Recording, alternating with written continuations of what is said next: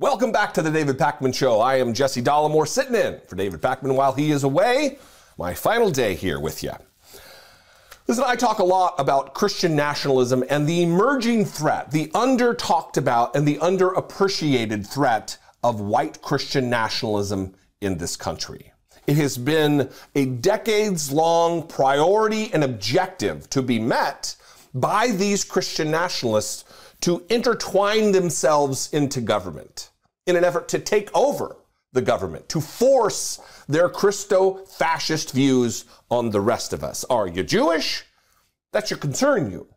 Are you a none? Uh, you, you don't have faith in whatever religion, religious tradition? It should concern you. Even if you're a Christian, it should concern you.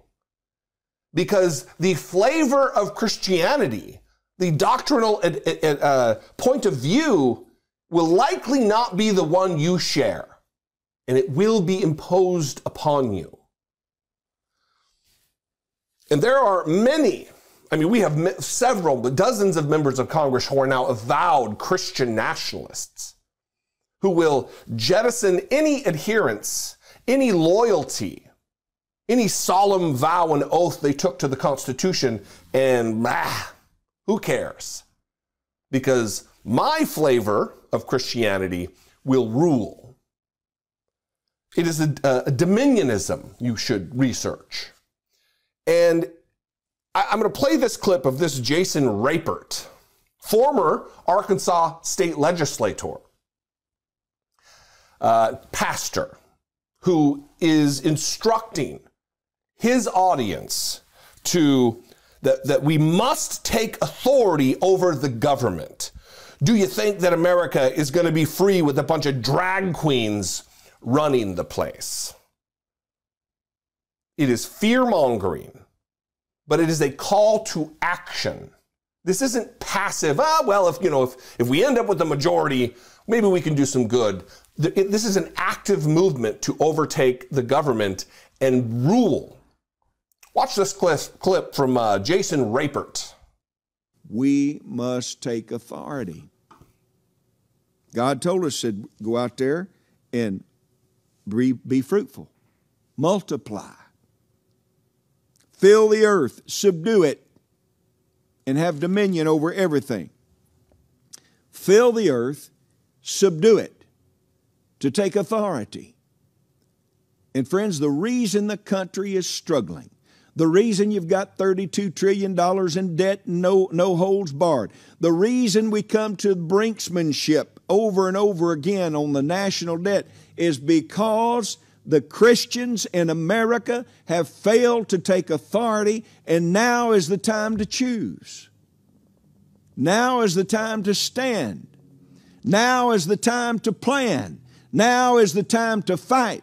Now is the time to, to work together to save the country. Look, do you think that America is going to be free with a bunch of drag queens running this place? No. Do you think America can remain free and strong with a bunch of Antifa nuts running around destroying property? No. And if you're tired of that stuff, then it's time to make a change.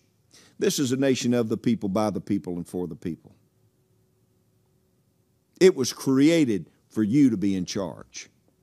A nation of the people, by the people, and for the people. So when we have politicians and elected officials that are corrupt, they need to be taken out. Send them to jail. Send them to prison, just like I've seen some people do even while I was serving in the Arkansas legislature. When you see people like Joe Biden taking, taking advantage of position and enriching his family like he has done, it's time to take them out. Take them out. Remove them. Move them on. It's time to take authority.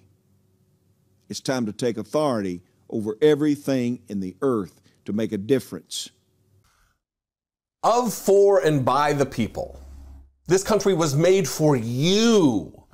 And he's talking to his Christian audience. This country was built for them.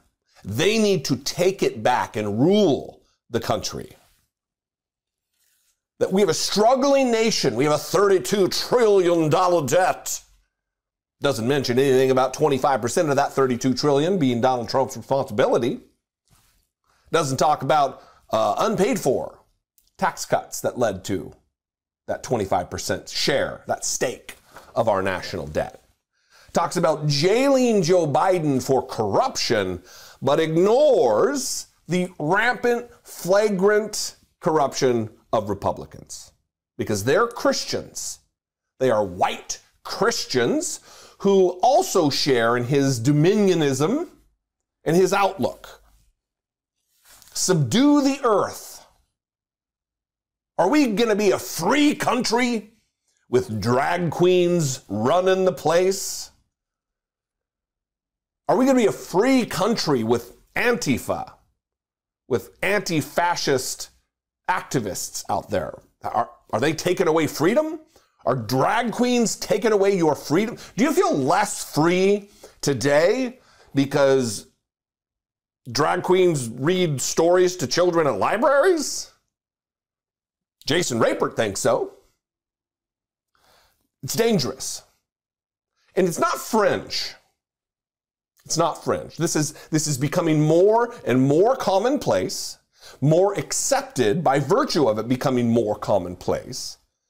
And it is something that not only we need to keep our eye on, but we need to be ready to combat it where it is.